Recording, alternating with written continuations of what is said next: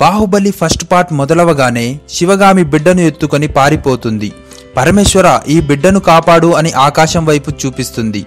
Flash back start అవ్వగానే ఒక బాబుకి బాహుబలి అనే పేరు పెడుతుంది శివగామి.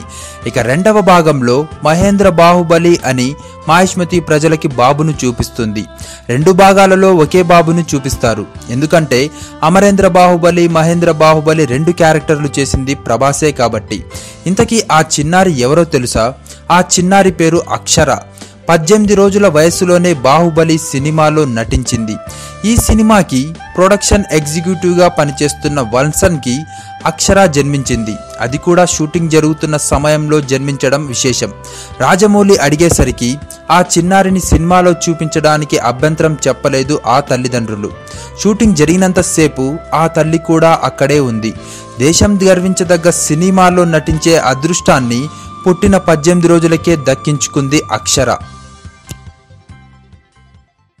ఈ వీడియో నచ్చితే లైక్ చేయండి షేర్ చేయండి సబ్స్క్రైబ్ చేసి ఎంకరేజ్ చేయండి. Thanks for watching